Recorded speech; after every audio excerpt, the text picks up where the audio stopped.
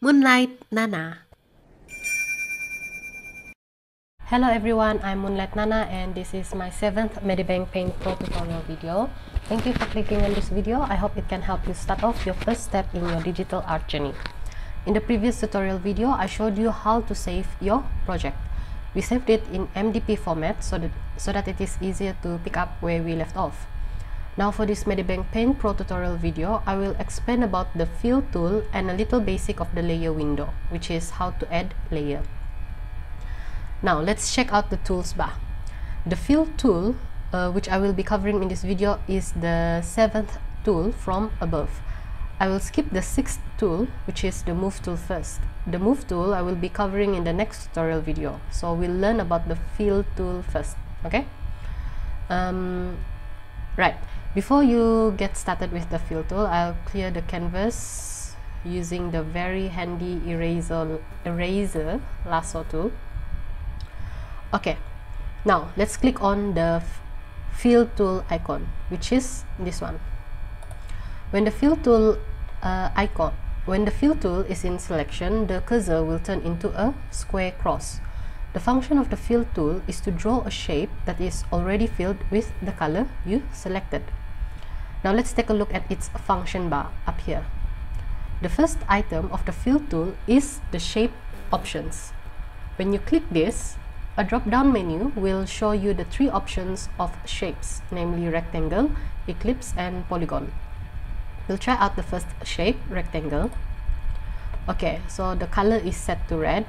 Now to use the fill tool simply click on uh, uh, any point on the canvas and then hold it then drag the mouse until you see a thin black line forming a rectangle you can adjust its width and its length uh, or height and also its size now when you're satisfied with the shape of the rectangle, you may release the mouse and the shape is drawn in the color of your choice.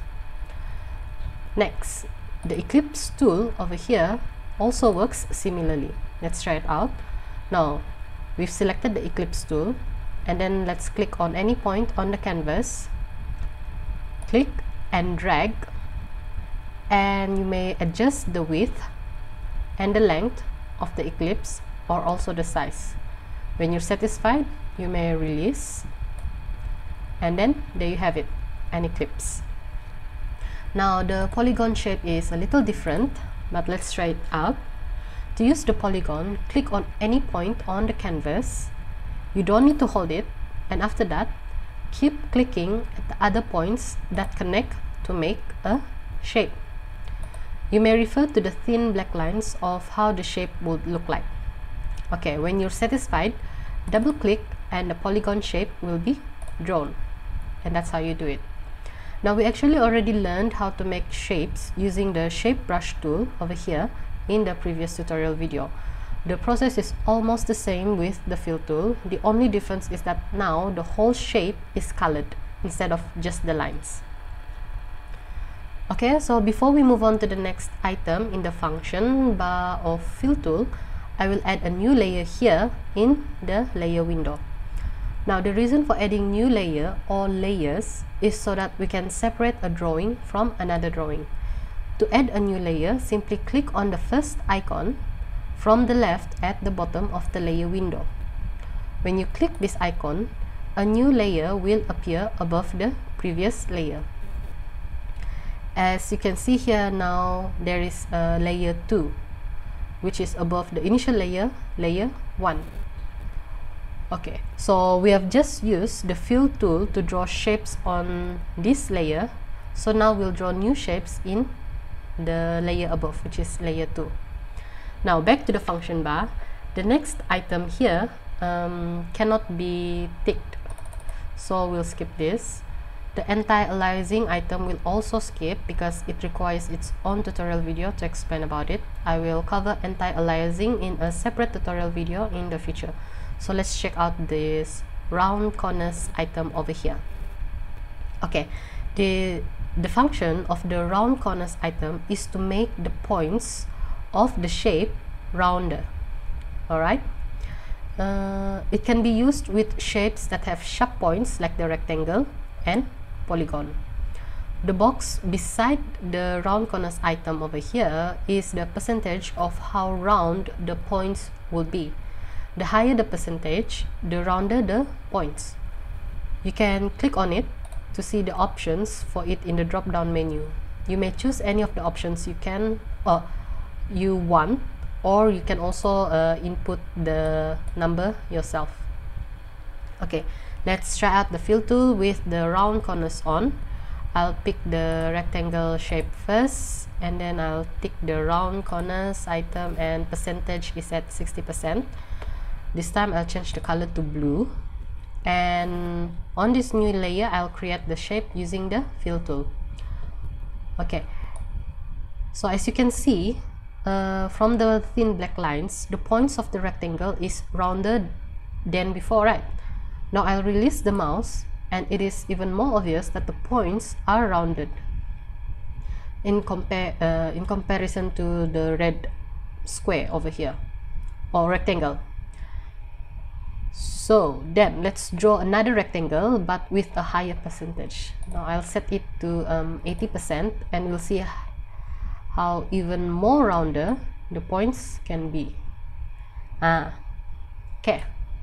So you'd see that the points are rounder than the 60% one.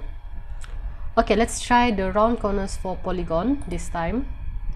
And this time I also set the percentage to 55 percent. Um, and let's draw a polygon right over here.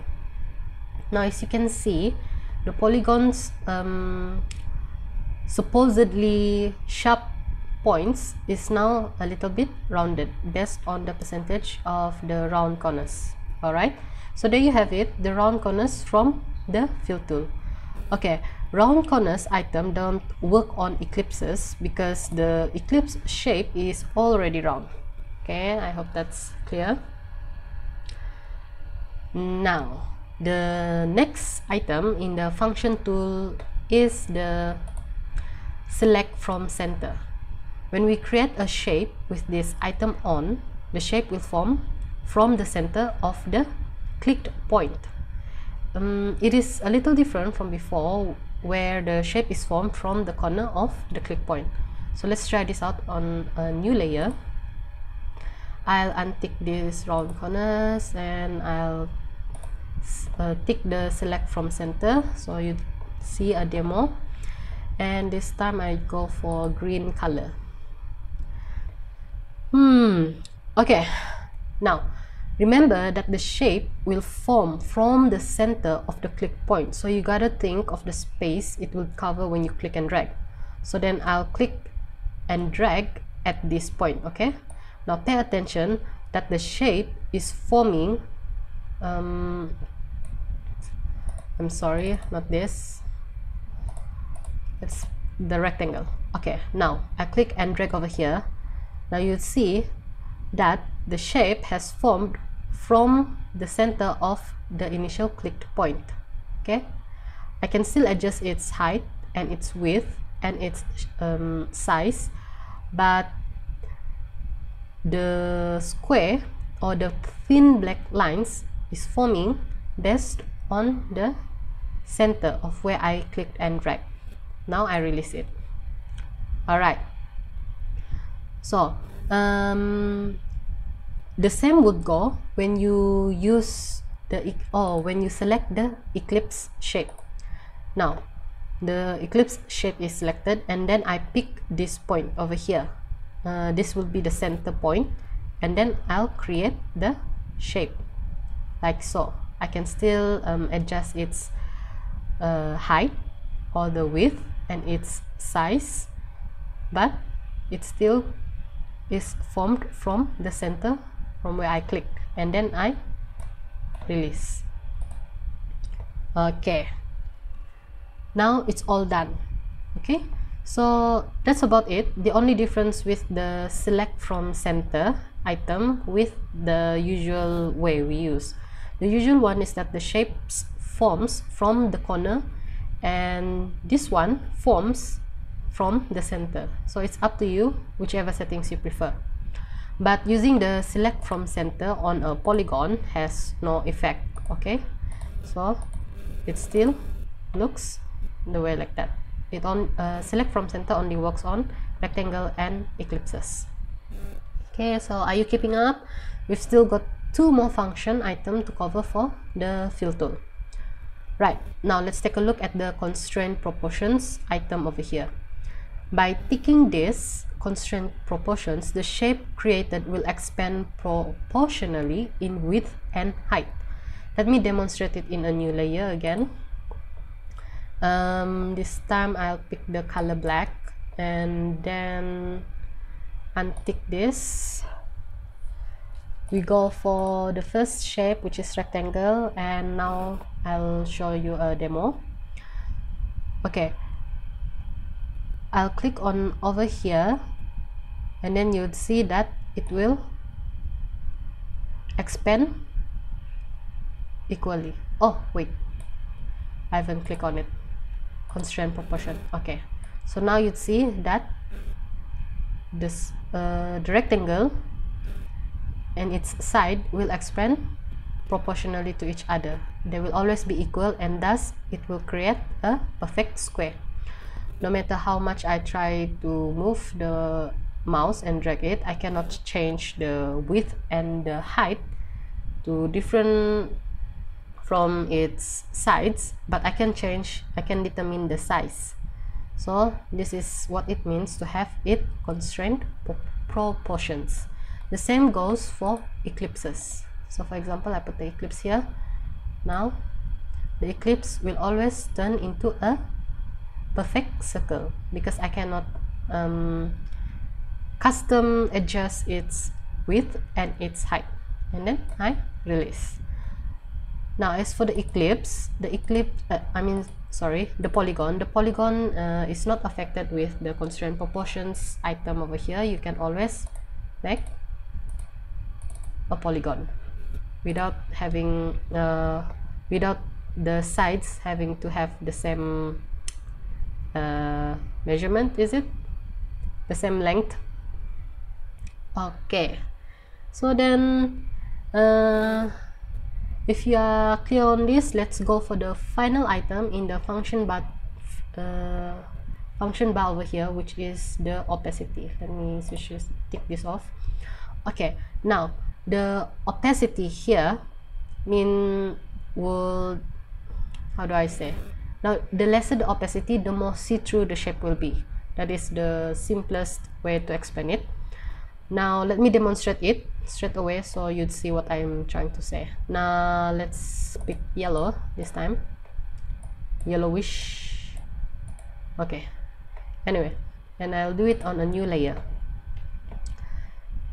Now for the rectangle I'll first draw the rectangle in opacity at 100% so I'll draw one over here so this is the rectangle at 100% um, opacity. Now let's try for eclipse, but this time I lower the opacity down to 50 percent. Uh, somewhere like that. Okay and then I make I'll create a shape over here. Now as you can see the eclipse uh, is starting to um, how do I say? To become a see-through. Okay now what happens when I use for the polygon then I lower it down to 25%.